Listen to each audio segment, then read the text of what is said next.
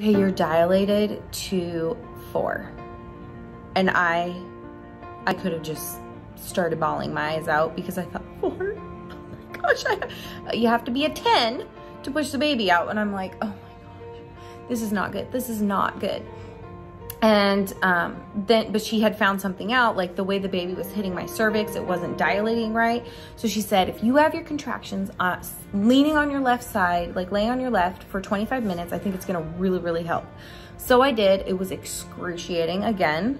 Uh, I should say intense because I don't want to scare anybody. I want to encourage you because I did get on the other side of this, obviously. After the 25 minutes, I ended up asking to get up and I got on the birthing ball and I sat there and I had another contraction and I was like, I have to get in the water because I was also having a water birth. That was my plan, which also it's like, who knows how this is really gonna go and I don't know. And um, I and usually when I say I need to get in the water, it's like not very long after that I have my baby. So, and I've had, this was gonna be my third water birth.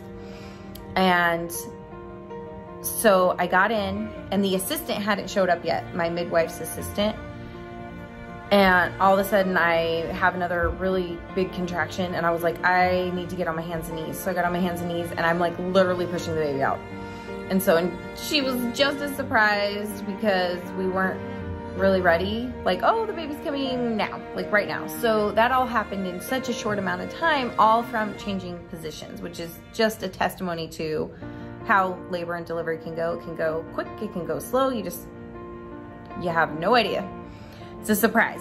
Um, so then I ended up pushing her out and I remember when the very first thing I thought when they put her up on my chest was, I put my head on her and went, oh, she has hair.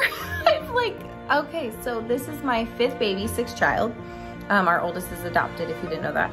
And so I just put my head on her and I was like, oh my gosh, I can't believe she has all this hair. So all my kids are either bald or have like little, just a little bit of hair. And I've never in my life seen this much hair, at least on my kids. Nope, never. And so I'm like, still, if you have hair tips, baby hair tips, let me know because this has just been crazy and it I can't tame it. I can't tame it. It's like she's got a cowlick in the back and it's everywhere. It's just her hair is everywhere. So we brush it and we have fun with it. I really just need to give her a good old mohawk because that would be fun. but so this is my second Trim Healthy Mama baby. Uh, I would love to tell you guys that I gained 23 pounds and then I lost 23 pounds and I'm back into my skinny jeans. It's just not true for me. I wish I could say that. It's just not true. It's okay. I'm going to get myself back, but my body, I'm 39. I don't know if it's because I'm older. I have no idea. I really don't know, but I ate completely on plan the whole time. And uh, I gained weight, gained weight in my thighs that I've never seen before in uneven places. Very strange. Just, I feel like, I feel sort of like a mutant. And I just have to look at this little peanut and go, it's all worth it. Even if I stayed looking like this forever, it's all worth it. So I am in the middle of my postpartum journey and trying to figure out what I have to do for my body to make sure I'm nourishing her first and foremost with breastfeeding and then making sure my milk supply is good.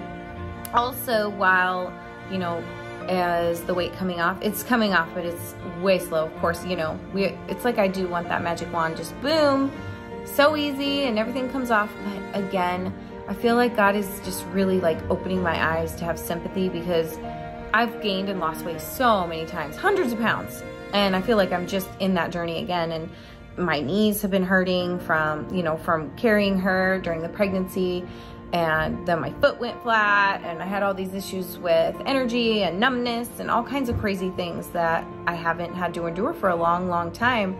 And just being able to go up and down the stairs. Uh, it makes me realize not to take those things for granted. And I'm like, when I go up and down the stairs and I'm carrying her, I'm like, thank you, Lord, that I can go up and down the stairs. Because that is a blessing in and of itself. Thank you that I can carry her. I mean, she's 13 pounds now. Oh, I forgot to tell you guys, she was big. Remember, I have big babies and I knew it. I knew she was gonna be big. I just didn't, and in my mind, I thought 11 pounds. I was pretty confident like she was gonna be 11 pounds. And she was close. She was 10 pounds, 13 ounces, and she was 22 and a quarter inches long. And she had, she has a 15 inch head. And I guess she did not um, mold. Is that the right word? They call it mold. She did not mold her head when she came out. So you can just fathom that feeling. Yeah, we'll move on. I'm working on the things I need to work on while also like transitioning to having a new person in the house is hard.